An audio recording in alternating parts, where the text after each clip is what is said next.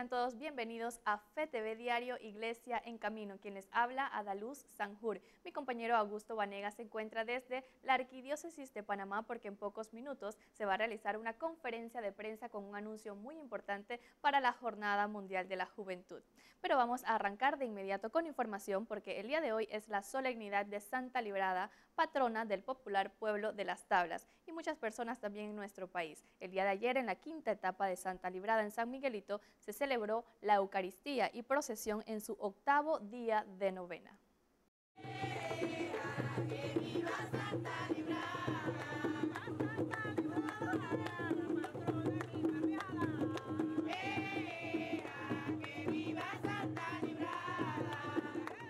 Estamos acá compartiendo con el Padre José Antonio en la parroquia de la Transfiguración las vísperas de la fiesta de Santa Librada. Y hacemos esa invitación a todos los hombres y mujeres de la campiña de allá, de donde uno, a que si no pueden viajar hasta Los Santos, pues acá también mañana se tendrá la Eucaristía solemne a la noche y están invitados todos. Recordar a Santa Librada es el llamado que Dios nos hace a vivir y a ser fieles a Él, como fue ella también fiel hasta el punto de dar la vida. Que ella nos inspire a todos nosotros a ser fiel y a gastar la vida y a darla como el hombre del campo también gasta la vida con su sudor regando la tierra para poder darnos el pan de cada día, para que llegue también a las mesas de todos los panameños. Es una invitación y un respeto también a los hombres y mujeres del campo, porque con su sacrificio podemos nosotros, pues acá en la ciudad, también poder contar con los productos que llegan a nuestra mesa y poder alimentar a nuestra familia. Saludos a todos y que tengamos una feliz fiesta de Santa Librada y que viva. ¡Oh, hombre!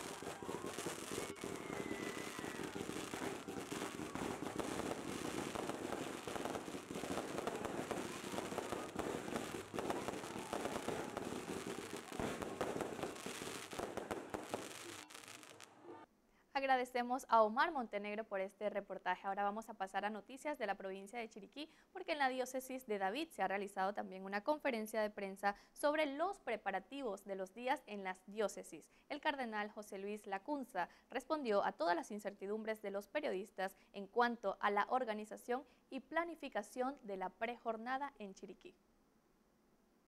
No es que nosotros vayamos a recibir a los que vienen de Centroamérica, puede ser de paso pero repito, eh, los peregrinos se instalarán en las diócesis que previamente hayan escogido, según la inscripción.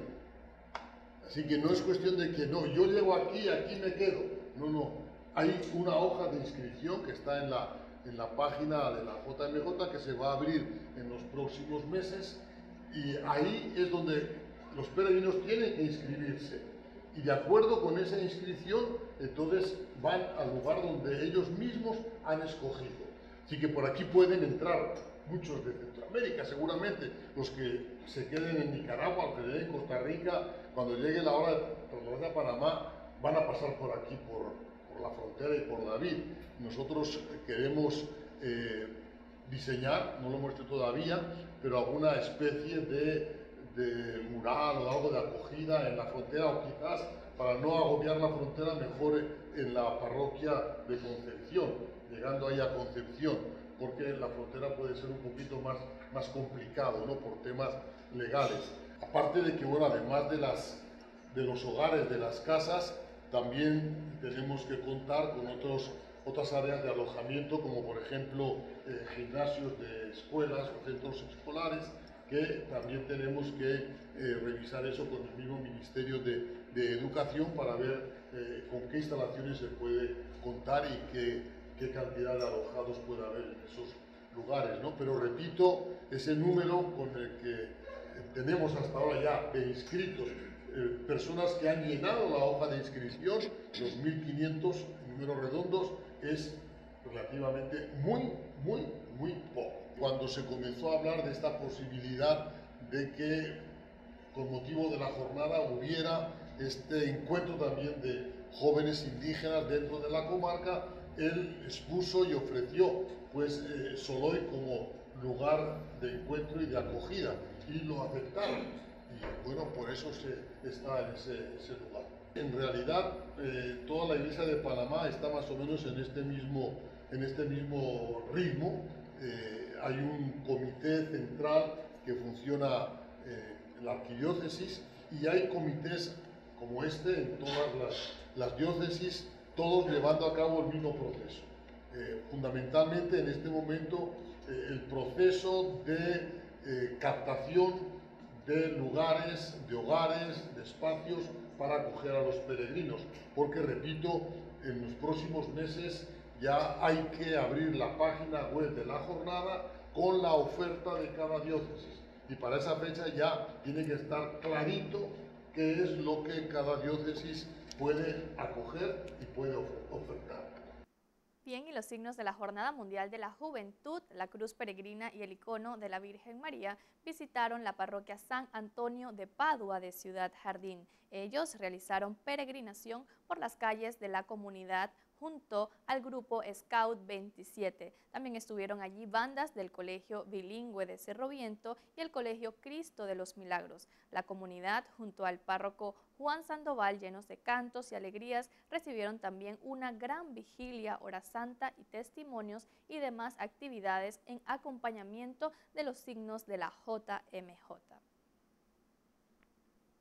Bien, y el padre Pedro Pablo Aguilar de Venezuela, quien estuvo en nuestro país para un entrenamiento con los medios rumbo a la comunicación de la JMJ, nos habló de cómo se prepara la juventud venezolana a la jornada pese a la situación que enfrenta este país. Hola amigos de FTV, soy el padre Pedro Pablo Aguilar y me encuentro en Panamá justamente realizando unas visitas de preparación en relación a lo que es la media training, entrenamiento con los medios desde el 16 de junio y estoy aquí justamente para compartir con todos ustedes en preparación a lo que es la Jornada Mundial de la Juventud 2019. Estamos justamente realizando una serie de talleres relacionados con la vocería y el manejo de lo que son las entrevistas para preparar a los jóvenes justamente que van a estar participando en esta Jornada Mundial de la Juventud 2019 con el objetivo justamente de brindar herramientas que sirvan a los jóvenes para ser líderes y portavoces de la iglesia de manera oficial y de manera no oficial también esto no solamente servirá como base para la Jornada de la Juventud, sino que es una preparación y una oportunidad que va a quedar posteriormente después de la jornada. Es decir, vamos a tener jóvenes, personas comprometidas en la iglesia, preparadas para poder enfrentar a los medios de comunicación, para poder manejar entrevistas y sobre todo poderse comunicar, que es lo importante, poder a través de la comunicación realizar una acción pastoral en la vida de la iglesia. Verdaderamente la experiencia en, en Panamá ha sido muy hermosa, muy gratificante ver muchísima gente que ha participado en los diferentes talleres, he podido tener la oportunidad de estar en Penonomé, en David, Metetí, eh, también en Colón, Cunayala, aquí mismo en la ciudad de Panamá y eh, próximamente en algunas oportunidades estaré también en la diócesis de Santiago. Es una oportunidad inmensa, pienso que maravillosa, sobre todo ver la disposición que han tenido los jóvenes de participar y sobre todo adquirir nuevos conocimientos que les permitirán de alguna manera poder manejar herramientas comunicacionales. Estas herramientas comunicacionales van a ser un factor importante y decisivo a la hora de poder transmitir el mensaje y el efecto que va a tener esta Jornada Mundial de la Juventud 2019.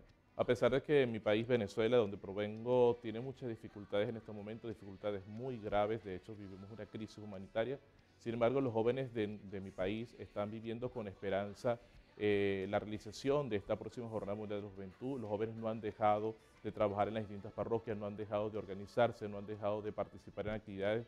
De hecho, a lo largo del año podemos constatar a través de la Conferencia Episcopal Venezolana las diferentes actividades que se están realizando en función de participar en la próxima jornada de la juventud. Es decir, que la esperanza permanece allí y sobre todo la preparación. Nosotros como país el próximo año tenemos el ENAJO, que es el Encuentro Nacional de Jóvenes a nivel nacional. Se reúnen más de 14, 15 mil jóvenes durante cinco días y esto con la misma metodología de lo que es la Jornada Mundial de la Juventud para podernos preparar como peregrinos para participar en las distintas jornadas mundiales de la juventud y en especial esta de Panamá. Lo que he podido constatar a través de mi recorrido a través del país es ver la calidad de la gente, del panameño y sobre todo su disposición por querer trabajar en todo momento. Siento que esta Jornada Mundial de la Juventud 2019 será un momento propicio para seguir creciendo. La invitación es a que todos los panameños sigan abriendo su corazón, sigan abriendo su disposición y sobre todo así como ese canal se ha ampliado, sigan ampliando sus vidas y su horizonte para que puedan participar justamente y sobre todo aportar desde su profesionalidad, desde su disposición, desde su corazón, todo lo que implica esta organización de la Jornada Mundial de la Juventud, porque Panamá abre sus brazos a todo el mundo y a todos los jóvenes en especial. Bien, con esta información vamos a hacer un enlace hasta la Arquidiócesis de Panamá. Al inicio del noticiero les habíamos comentado que nuestro compañero Augusto se encuentra desde la Arquidiócesis porque hay una conferencia de prensa con un anuncio muy importante para la JMJ. Adelante, Augusto. ¿Qué tal amigos televidentes de FTV, el canal de la Misericordia, el canal de la JMJ 2019? Nos encontramos en este momento aquí en la Arquidiócesis de Panamá, en la Curia Metropolitana, vamos a tener para ustedes información muy especial, muy importante. Vamos a tener una grata sorpresa para todos ustedes, de manera que continúen en sintonía de esta transmisión aquí justamente en el noticiero FTV Diario Iglesia en Camino. Continúen en sintonía del canal de la Misericordia. Bien, de esta manera vamos a, realizar una pausa y al volver vamos a continuar con más información aquí en FTV Diario Iglesia en Camino.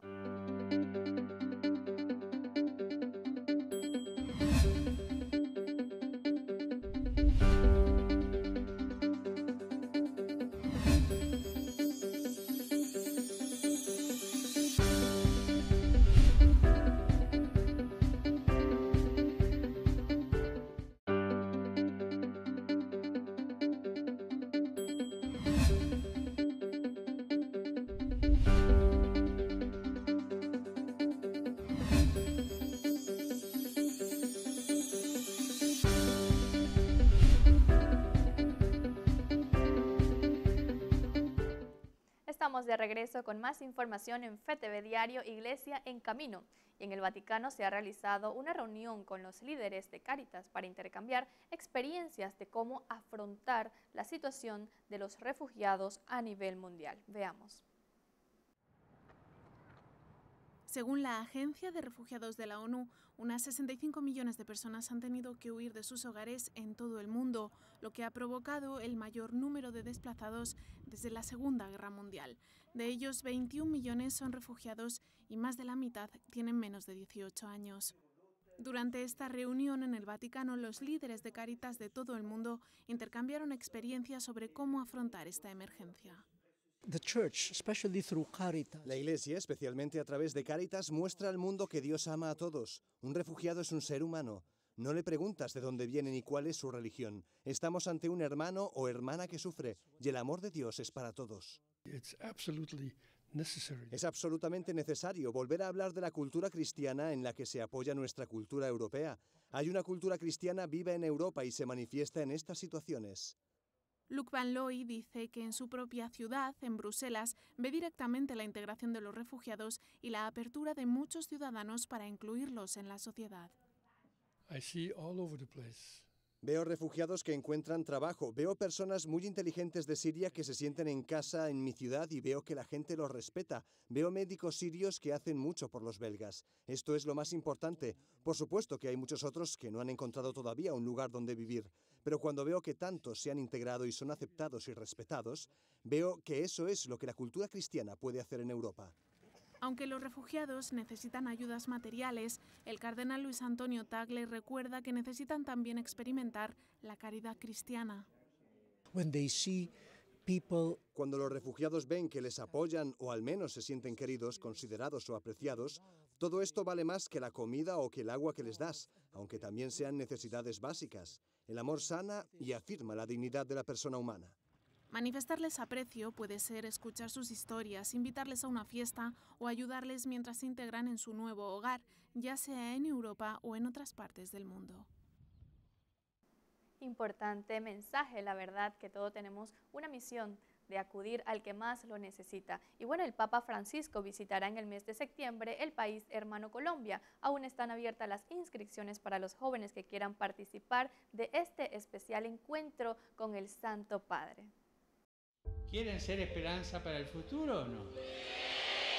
Seguro. Con dos condiciones.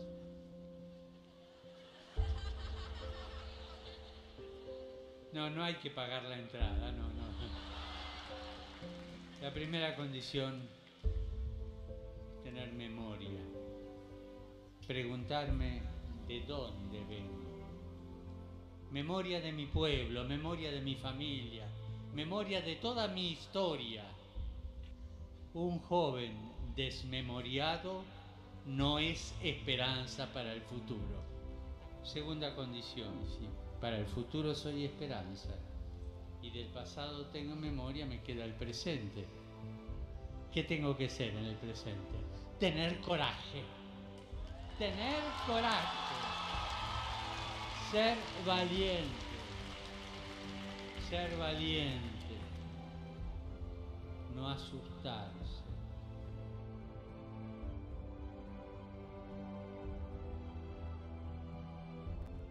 El equipo organizador de la visita del Papa Francisco a Colombia anunció que quedan pocas semanas para culminar el proceso de inscripción para quienes quieran participar en el encuentro de los jóvenes con el Santo Padre el 7 de septiembre en Bogotá. El padre Carlos Jiménez, coordinador del encuentro de jóvenes con el Papa Francisco en la Plaza de Bolívar de Bogotá, alentó a los jóvenes que quienes quieran sumarse a enviar prontamente un correo electrónico a jóvenesconelpapa.arquibogotá.org pues el proceso de inscripción se encuentra en las últimas semanas. La condición para participar, explicó, es que los jóvenes tendrán que pasar por un proceso de formación pastoral. El proceso de formación pastoral, señalaron los organizadores, comprenderá temas como el rol de los jóvenes en la Iglesia Católica, quién es y qué hace el Papa Francisco, y la importancia de dar testimonio de Jesús en la vida cotidiana.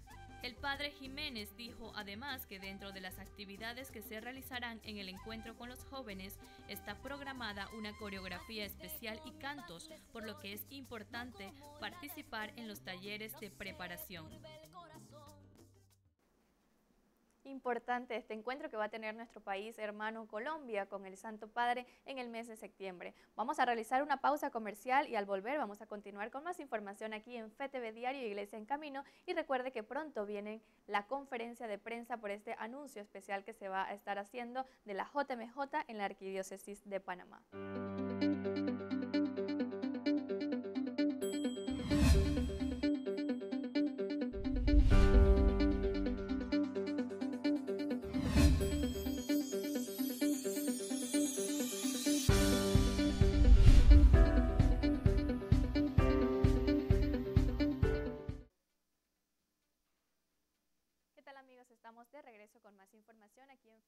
Diario Iglesia en Camino. Vamos a pasar a información porque en Cataluña, España, se denunció a un sacerdote por haber proclamado durante su homilía sus consideraciones morales sobre la homosexualidad. El Día del Orgullo Gay en Madrid, el sacerdote habló sobre el pecado como homosexualidad y el aborto, lo cual provocó que fuera denunciado por el Área para la Igualdad y Trato y No Discriminación de las Personas LGBT. Vamos a ver un resumen de la homilía que dio el sacerdote ese día, por lo cual fue denunciado. ¿No veis ahora a nuestros pastores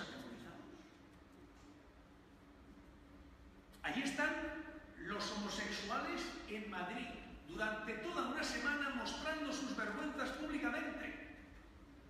Y la próxima semana, el viernes, sábado y domingo, vendrán aquí a Barcelona para hacerlo también. ¿Qué dicen los pastores?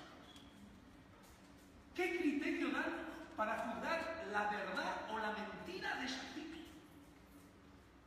Todos callados como cuentos.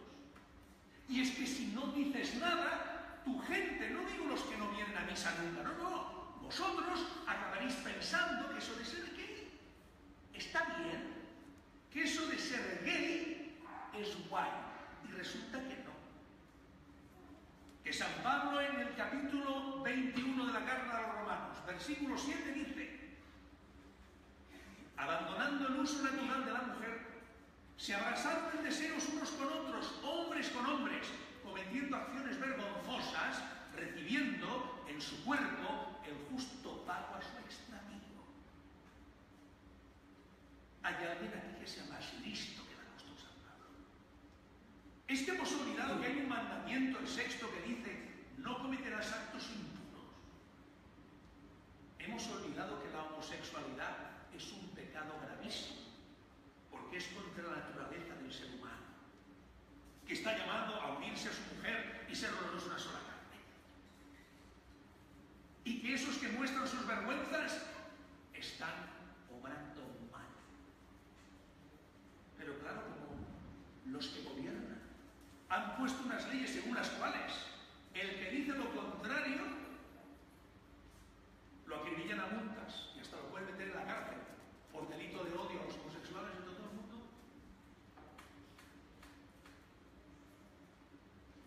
Mirad, ya tengo demasiados pecados como para además tener el de no decir la verdad. El de no daros un criterio justo para que juzguéis lo que sucede. ¿Quién habla del aborto? Del crimen abominable del aborto.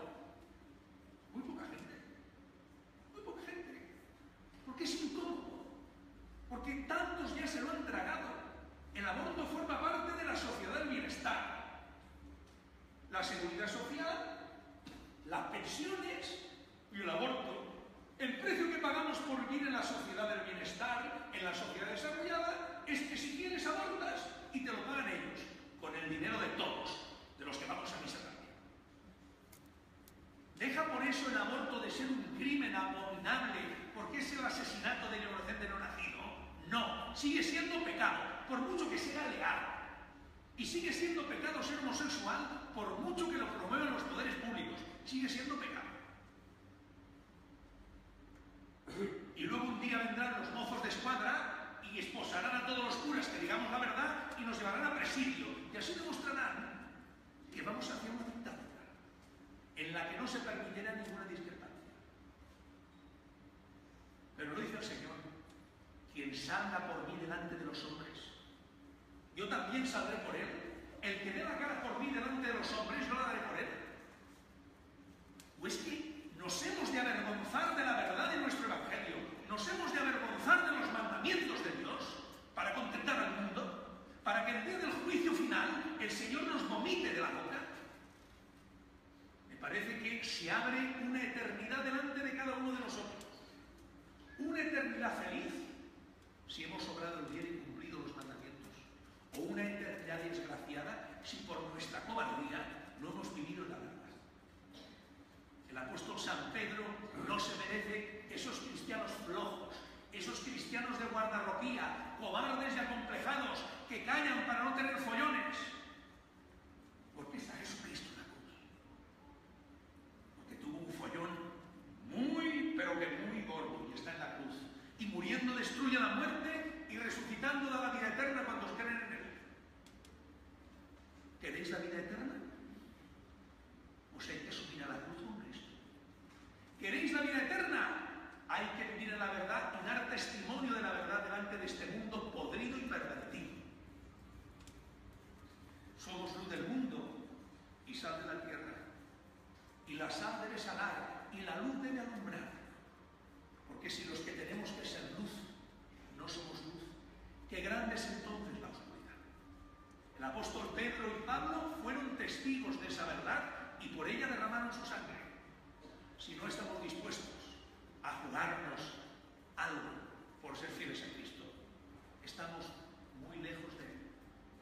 Que el Señor fortalezca nuestro corazón para viviendo en el bien y la verdad seamos hallados un día dignos de participar en el banquete. Bien, y una vez analizadas las palabras de este sacerdote, ¿verdad? Se declaró de que no se le podía acusar de nada ya que estaba en su derecho de libertad de expresión según su opinión e ideología de esta persona. Por lo tanto, se procedió a cerrar y archivar este expediente. Todo esto es lo que está pasando con la ideología de género en Madrid. Ahora vamos a hacer conexión con nuestros amigos que se encuentran desde la Arquidiócesis de Panamá con la conferencia de prensa y este mensaje tan importante sobre la Jornada Mundial de la Juventud. Nos acompañan Monseñor José Domingo Ulloa Mendieta, arzobispo metropolitano y presidente de la Conferencia Episcopal Panameña. el padre Rómulo Aguilar, coordinador general del Comité Organizador Local de la Jornada Mundial de la Juventud 2019, el licenciado Víctor Chan, secretario ejecutivo del Comité Organizador Local de la JMJ Panamá 2019, el licenciado Luis Ponce Gil, director de logística del Comité Organizador Local, el comisionado Domingo Espitia, jefe de planeamiento de la Dirección Nacional de Operaciones de la Policía Nacional, y las jóvenes Carla Polo y María Gómez, quienes nos darán su testimonio de participación en las jornadas de la Mundial de la Juventud de los años anteriores. Esta conferencia, que tiene como propósito la confirmación del lugar oficial de, de los actos centrales de la JMJ, sabemos que esta jornada tiene como lema, He aquí la sierva del Señor, hágase en mí según tu palabra, y en ese contexto, bajo ese lema, Monseñor José Domingo Ulloa Mendieta hace uso de la palabra. Muy buenos días a todos, queridos medios de comunicación. Gracias por acudir a esta llamada que le hacemos para confirmar esta gran noticia esperada, ya confirmarla de manera oficial. ¿Dónde va a ser la próxima sede donde vamos a reunir a los miles de jóvenes del mundo entero? y antes de confirmarse el, lugar, yo creo que no podemos perder la, la dimensión del evento y del gran privilegio que como iglesia y como país tenemos al haber sido elegido por el Papa Francisco para que Panamá en el 2019 se pueda convertir en la sede de la juventud mundial y no solo en la sede. Es que de Panamá, de este pequeño país como, como María, al decir sí, vamos también a suscitar la buena nueva y las esperanzas, porque de Panamá tenemos que, que comprender, se va a, divulgar la buena nueva a los jóvenes, acabado también el sínodo que estaremos celebrando el próximo año en el 2018 y donde el Papa Francisco aquí en Panamá dirá al mundo y a la iglesia cuáles las opciones, cuáles son nuestros derechos y el trabajo que nosotros tenemos que realizar con nuestra juventud. Por eso ya oficialmente, no solo para Panamá, sino también para el mundo entero, vamos a anunciar al mundo que el sitio elegido para los actos centrales de este encuentro mundial de la juventud será en la cinta costera 1. Y es importante destacar cómo hemos llegado después de un año que se proclamó que Panamá era la sede. Hemos estado generando consultas en las diversas conferencias episcopales del mundo entero. Le hemos presentado varios posibles lugares y la mayoría ha coincidido que la opción más que se acerca más a lo que se ha estado realizando en la jornada mundial es la cinta costera. Eh, no podemos olvidar, y lo hemos dicho, si algo queremos hacer es que esta jornada es escuchar el parecer y el sentir de los jóvenes. ¿eh? Nosotros los que ya sumamos un poco de años podemos mirar las cosas de una manera distinta. El joven lo quiere responder de los jóvenes para los jóvenes. Entonces, uno de los elementos que hemos uno de los elementos que hemos tomado en cuenta para decidir el lugar es la consulta que se ha hecho a las grandes conferencias episcopales. También tenemos que decirlo, eh, la apreciación que para nosotros fue muy importante también de la evaluación de la Gendarmería del Vaticano, cuyos especialistas también nos han dicho que ese lugar es apto que garantiza también la seguridad de los jóvenes que van a asistir allí, pero sobre todo la seguridad del Santo Padre.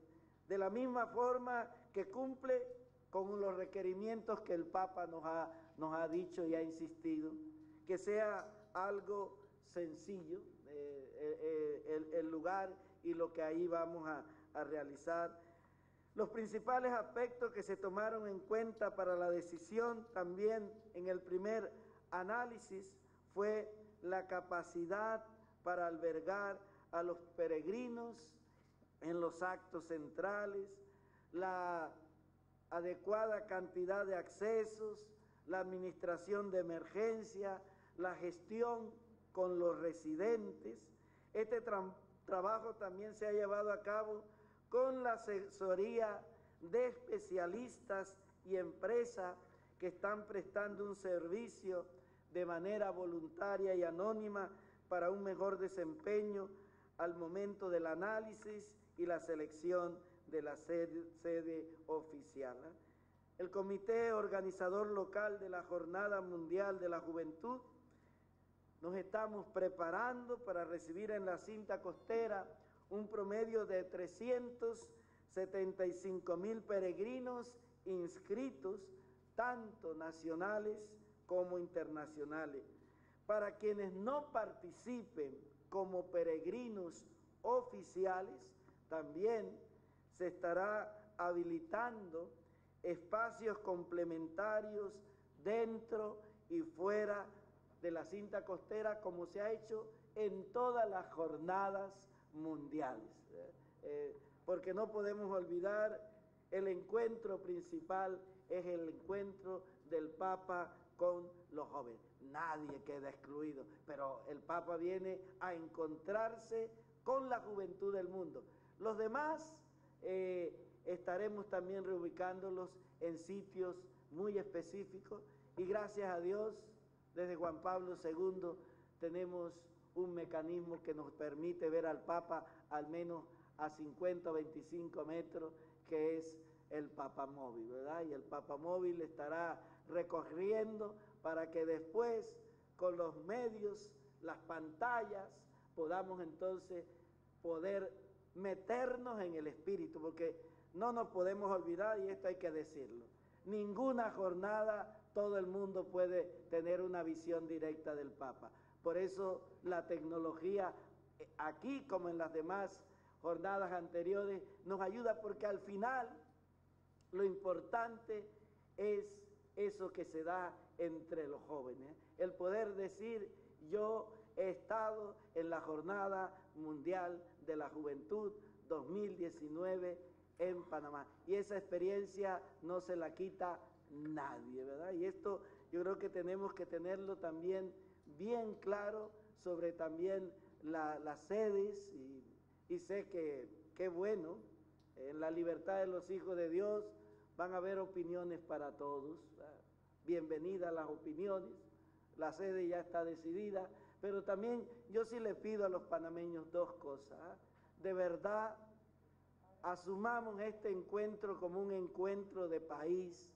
Es la gran oportunidad que como panameños tenemos de ser luz para el mundo en ese mandar ese mensaje positivo y esperanzador a la juventud mundial.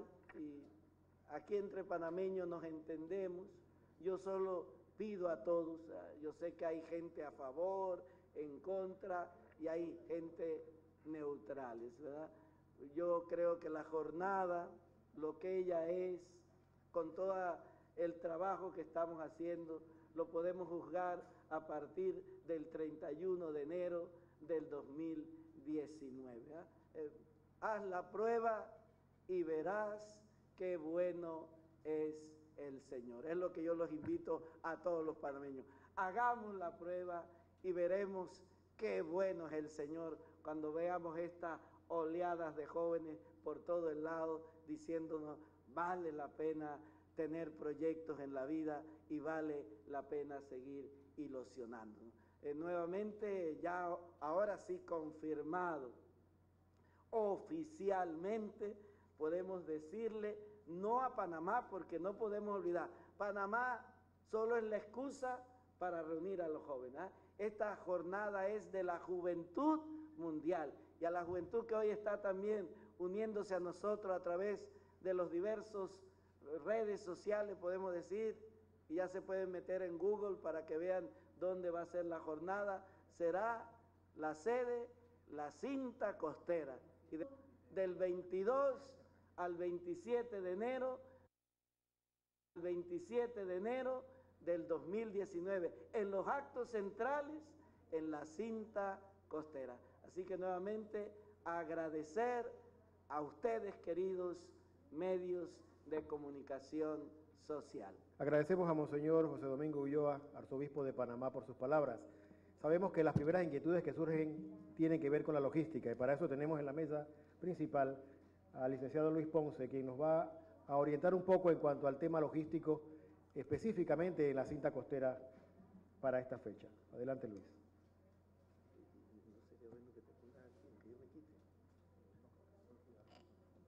Bien. Bien, buenas, buenas tardes a todos.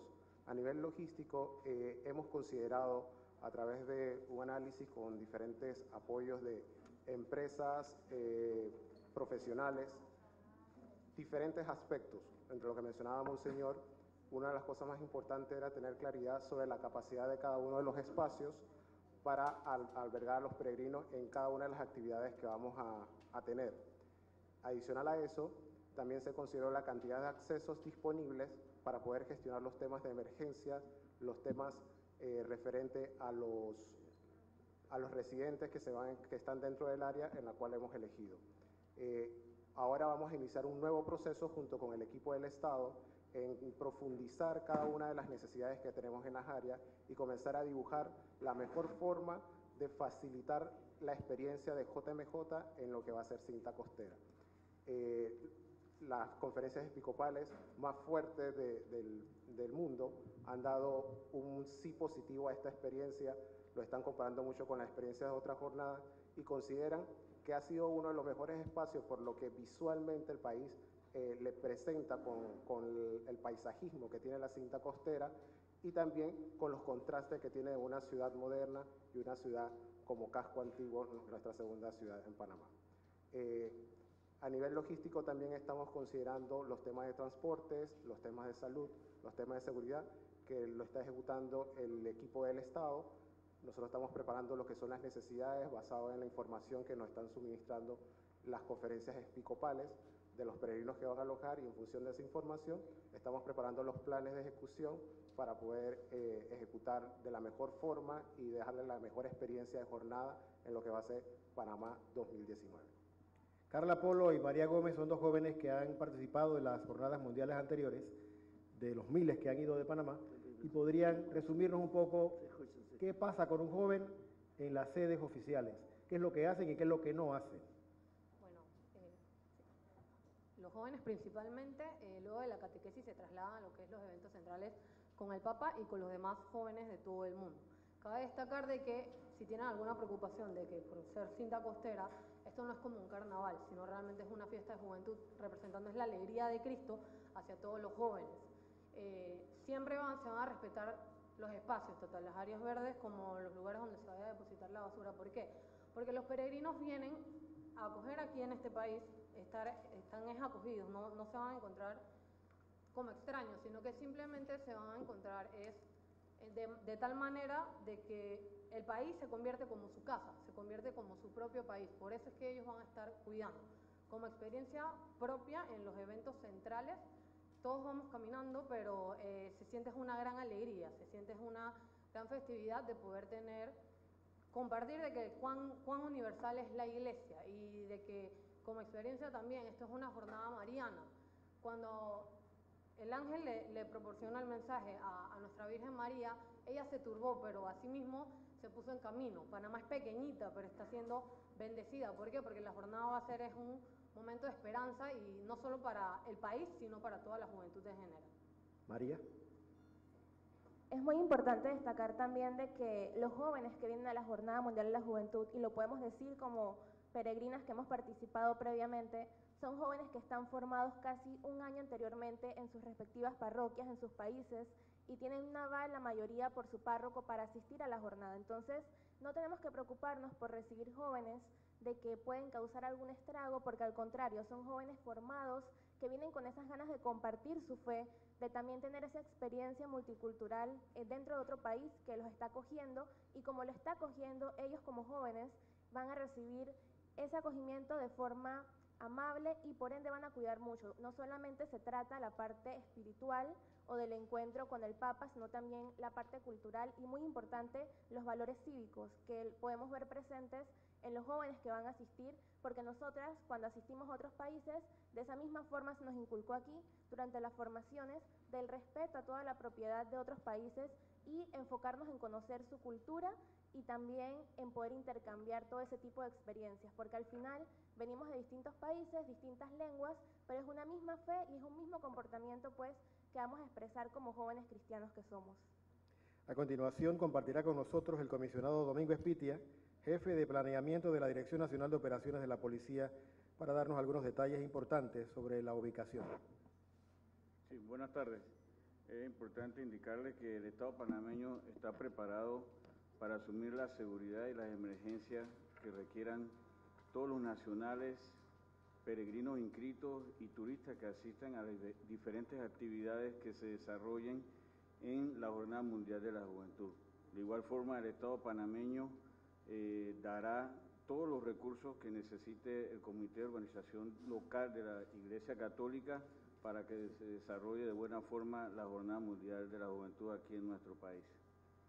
Con relación a los aspectos de seguridad y de emergencia en estos momentos, junto al COL, la Dirección Ejecutiva de Apoyo está desarrollando la fase de planificación que posteriormente a través de la Iglesia Católica se le estará indicando a cada uno de ustedes cómo vamos a desarrollar esa seguridad que sé que eh, están interesados en saber para brindarle esa tranquilidad al ciudadano panameño.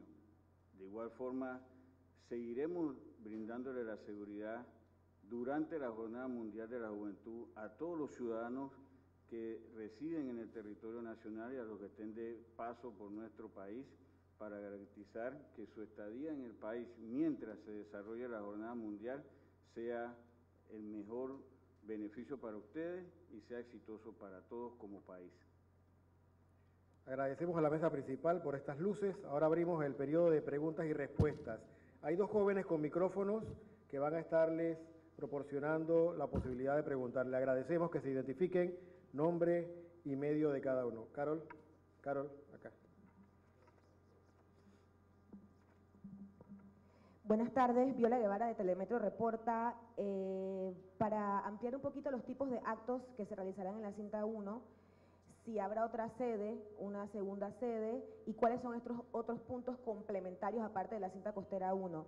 Y en materia de seguridad, eh, para que nos amplíe un poquito la estrategia, cuántas unidades, y entiendo que se firmó como una carta de alerta por parte del presidente que tiene que ver con el tema de seguridad y emergencia.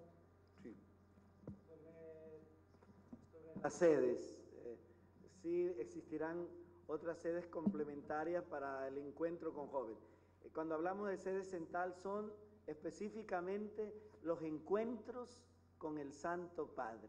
El primer encuentro del Papa con la juventud será el día jueves.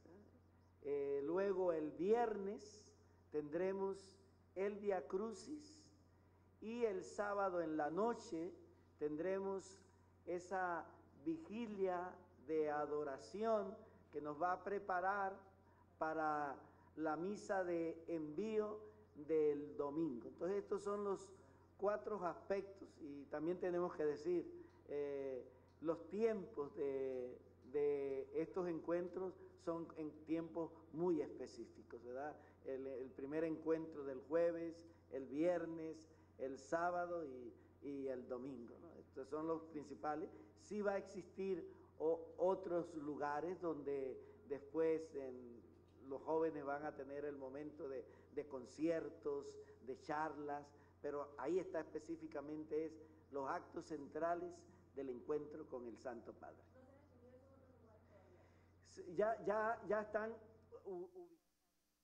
De esta manera ha culminado la conferencia de prensa en la Arquidiócesis de Panamá, donde se ha hecho oficial el anuncio de dónde será la Jornada Mundial de la Juventud y es en la cinta costera. Le agradecemos a ustedes por mantenerse en sintonía de nuestro noticiero FTV Diario Iglesia en Camino. El día de mañana vamos a tener más información para usted. Que tenga una muy buenas tardes.